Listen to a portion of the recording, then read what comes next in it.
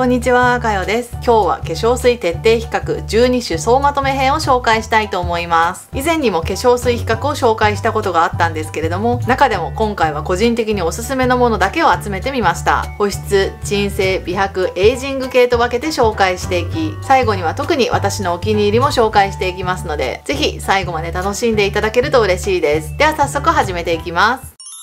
まず最初は保湿系です。最初はこちら、アヌア白樺70水分ブースティングトーナーです。こちらは白樺樹液70%、パンテノール、アラントイン、ベタイン、3種のヒアルロン酸が配合されており、お肌の表面はもちろんインナードライを改善して、お肌の障壁を強くするバリア機能を形成してくれます。テクスチャーはシャバシャバした水っぽいタイプです。ブースティングトナーという名前の通り、ブースターのようにスルッとほんのりとろみ感がありながらスーッと馴染みます。ベタつき感などは一切なく、1回でもお肌が内側からしっとりもちもちになるのを感じます。香りは一切ありません。使ってみた感想はこちらのアヌアの白樺シリーズは保湿に特化したシリーズなんですけれどもこっくりしすぎたりベタベタしすぎたり重たいテクスチャーではないので保湿はしたいけれどもちょっとクリーミーな使用感は苦手だなという方にぜひおすすめしたいシリーズとなります。続いてこちらラネージュクリームスキンです。こちらは化粧水の中にクリーム1本そのまま混ぜて低下したお肌のバリア機能をケアしお肌の水分量を長時間保つ潤いトナーです。テクスチャーはシャバシャバした水タイプで乳白色となっています。とろみ感もそんなになく馴染ませた後もお肌にスーッと馴染みます。ベタベタ感などはなく1回でしっとりもちもちっとしたお肌になります。香りもほぼありません。使ってみた感想は私は乾燥肌なのでこちらは秋冬に欠かせない化粧水となります。さっぱり系の化粧水だと何度か重ねてつけてあげたりその後の美容液やクリームでしっかりと保湿をしてあげないといけないんですけれどもこちらは1回塗りでもお肌がベタつきもなくもっちりふっくら肌になります。ちょっともったいない使い方かもしれないんですけどミスト容器などに入れてお風呂上がりのボディの保湿としても使うとローションや乳液に比べてお肌がベタベタしたりすることもなくさっぱりと保湿ができるので顔はもちろん全身の保湿ケアとしてもおすすめです。続いてこちらセリマックスデュアルバリアクリーミートナーです。こちら敏感乾燥肌の方のためのシリーズとなります。肌のバリア機能を整えるセラミドが高含量で配合されており自然由来の5種のセラミドを使用しています。テクスチャーはさらっとしたとろみ感のある水分ですがなじませるとささっと浸透しベタつき感は全くありません。お肌がサラサラして何度重ねても不快感がなくお肌が内側からもっちりとします。香りも一切ありません。使ってみた感想は秋冬の化粧水といえばラネージュクリームスキンが有名かなと思うんですけれども個人的にはラネージュのクリームスキンよりも少し保湿力の高いクリーミートナーという感じです。ただこちらのセリマックスも全くベタつきなどはないので敏感乾燥肌さんはもちろんなんですけども普通肌さんの方も保湿力が高いものが好きという方はこちらのセリマックスのデュアルシリーズもいいかなと思います。続いてこちらメイクプレムセーフミーリリーフエッセンストナーです。こちら鎮静効果のあるディールエキス低分子ヒアルロン酸セラミドパンテノールが配合されており敏感なお肌をケアしながら健康な状態にサポートしてくれるトナーです。テクスチャーは柔らかいブースターのように軽いとろみのあるタイプです。さらっとしているのですが保湿力が高く使用感がすごくいいです。肌なじみも良くお肌にスルッと浸透して何度重ねてもベタつき感がなくお肌が本当にもちもちっとなります。使ってみた感想はこちらの先ほどのラネージュのクリームスキンよりも軽いバージョンという感じです。クリームスキンよりも軽いテクスチャーで成分も優しく何よりも大容量なのにコスパがすごくいいという点が嬉しいです。かなりたっぷりと入っているのでコットンでシートパック代わりにして使ってあげたり首元やデコルテ部位までたっぷりと惜しみなく使えるという部分も嬉しいです。続いてこちら。エスネイチャーアクアオアシストナーです。こちらパハ成分で角質をマイルドにケアしお肌の内側からしっかりと水分をチャージして明るいツヤ肌に導いてくれる弱酸性トナーです。特許成分であるアクアキシル8種のヒアルロン酸ビタミン B5 パンテノールアラントインを配合しており水分を与えながら敏感になったお肌をケアしてくれます。テクスチャーはシャバシャバした水タイプです。さっぱりしながらも1回でももっちり肌になり保湿力があると感じました。香りもなく癖のないテクスチャーで使いやすいです。使ってみた感想はこちら角質ケアアイテムやピーリング系は刺激となってしまう時やお肌がゴワゴワしてメイクのりが良くないなという時に使うようにしています。敏感肌の方はどうしてもこすってしまったりゴマージュタイプのビーリングでマッサージをすると刺激となってしまうことがあると思うんですけれどもそんな時にスキンケアの一環として優しく角質トナーができるという点が嬉しいです。潤いを与えながら自然と角質ケアもできるので次のスキンケアの浸透が良くなる感じがあります。続いて鎮静部門です。最初はこちら。アヌは毒ダミトナーです。主成分が毒ダミ77%となりニキビや肌荒れをケアしながらしっかりと水分で潤いを与えてくれます。またノンコメドジェニック認証も受けているためニキビがあるお肌の方でも安心です。テクスチャーはシャバシャバ系の水タイプとなります。とろみ感はほぼなくさっぱりとお肌を整えてくれるという感じです。こちらは香りが一切ないので毒ダミの香りが苦手という方も使いやすいです。使ってみた感想ははこちらは本当に肌荒れ時のお守りトナーとして使っているのでもう何本使ったかわからないぐらいそしてストックも必ず用意してある私の人生トナーとなります。肌荒れ時のトラブルトナーはいろいろ使ってみたんですけれども私の肌にはアノアの毒ダミトナーが一番合っているようで荒れたお肌や揺らいだお肌を本当に素早くケアしてくれるのでこちら自信を持っておすすめしたいトナーです。続いてこちらメディヒールティーツリーバイオームブレミッシュシカトナーです。こちら鎮静効果のあるティーツリーお肌を健康な状態に整えるティーツリーバイオームが配合されており敏感になったお肌を健康な状態にサポートしてくれます。テクスチャーはシャバシャバした水タイプです。かなりさっぱりした使用感でベタつき感も一切ありません。香りは草っぽいハーブの香りがあります。使ってみた感想はこちらは姿勢肌さんやニキビ肌さんにおすすめのトナーです。乾燥肌の私は正直これは保湿力が足りないと感じたので肌荒れ時の一番最初の拭き取りトナーのように使うことが多かったです。でも大容量でコスパもいいので肌荒れ時に惜しみなくコットンパックとして使えるという点がいいかなと思います。続いて美白部門です。最初はこちら。ナンバーズイン3番ウルツヤ発酵トナーです。こちら発酵成分が50種類入っており韓国のデパコスに似ていると有名な発酵トナーです。テクスチャーはとろっとした美容液っぽいタイプです。ベタつかない使用感で肌の内側までしっかりと潤いインナードライを防いで表面はサラサラしながらツヤが出るのが実感できます。使ってみた感想はこちら本当に使うごとにお肌の透明感がアップして張り感とかあとは小じわプツプツした吹き出物などもできづらくなってお肌が安定してきたのを実感できました。たっぷりと栄養感を与えながらも保湿美白エイジングとお肌全体のお悩みが総合的にケアできるのにもかかわらずかなりコスパがいいのでこちらは本当に出会えてよかった人生トナーです続いてこちらサイニックファーストトリートメントエッセンスです。こちらガラクトミセス発酵液90%配合の美容液化粧水です。150ml で2000円程度と他のガラクトミセス導入美容液に比べてもかなりコスパがいい方です。テクスチャーはシャバシャバした水っぽいタイプです。とろみ感は全くなくお肌にスーッと馴染みます。洗顔後一番最初の導入美容液としてお肌を整えその後普段のスキンケアをしていきます。香りはほぼないですが少し発酵系の香りがあるかなというぐらいです。使ってみた感想は私はガラクトミセスは結構合う合わないがはっきりと出るタイプなんですけれどもこちらに関しては肌トラブルなく使うことができました。しばらく使ってみた結果劇的な変化っていうのは正直なかったんですけれどもキメが整ってお肌のコンディションが良かったなというのは実感できました。香りも全然強くないですし癖のない使用感なので他のガラクトミセス美容液と成分は異なるとは思うんですけれども化粧品はご自身のお肌に合うのが一番だと思いますのでこのコスパでガラクトミセス導入美容液が試せるという点が一番のメリットかなと思います。続いてエイジング部門です。最初はこちらセリマックスザ・リアルノニ水分バランシングトナーです。こちらノニエキスが80%配合された保湿トラブルケアハリ弾力のケアのできる栄養トナーとなります。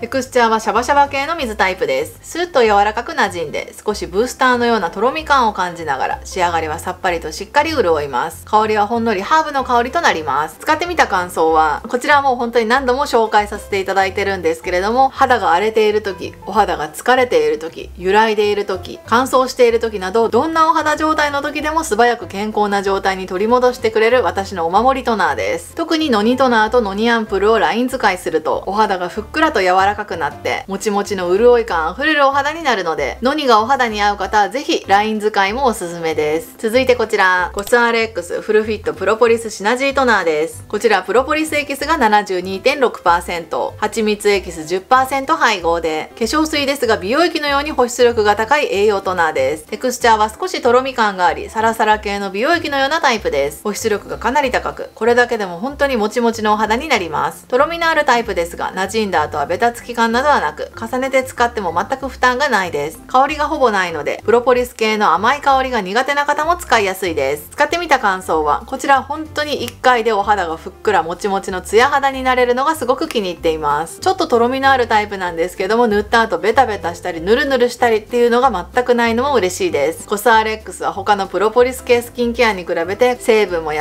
しくコスパがいいので続けやすいという点が一番気に入っています。最後はこちら。魔女工場ビフィダバイオームアンプルトナーです。こちらのアンプルトナーはビフィダバイオームとプロバイオティクスコンプレックスが配合されておりお肌のバリア機能を高め健康な状態に整えてくれます。その他ヒアルロン酸や PHA 成分が配合されているので保湿をしながら優しく角質もできるトナーとなります。テクスチャはアンプルトナーという名前ですがかなりシャバシャバした水タイプです。ベタつきは全くなくさらっとしたお肌になりお肌がふっくら柔らかくなる感じです。香りはほぼないです。使ってみた感想はこちら本当に揺らいだお肌をゆっくりと安定した状態に取り戻してくれる感じがありました。ただアンプルトナーという名前なんですけどもかなりさっぱりとした使用感なので保湿力を求めるという方は保湿系トナーの方がいいかなと思います。さっぱり使用感でビフィダシリーズを使ってみたいという方にいいかなと思います。では最後に私のおすすめ人生トナーを発表します。保湿ならセリマックスのデュアルバリアクリーミートナー。鎮静ならアヌアのドクダミトナー。美白ならナンバーズインの3番ウルツヤ発酵トナー。エイジングならセリマックスのノニトナーという感じです。こちらは今私の最新の1軍トナーとなるのでまた色々使ってみておすすめがありましたら随時紹介していきたいと思います。ではここまで最新化粧水12種徹底比較を紹介していきました。目代わりのお買い物の参考となれば嬉しいです。インスタでも動画のまとめや動画では紹介していないアイテムをまとめておりますので合わせてフォローしていただけると嬉しいです。こちらの動画が参考になりました方高評価コメント残していただけると次の動画を作る励みとなります。ではまた次の動画でお会いいたしましょう。バイバイ。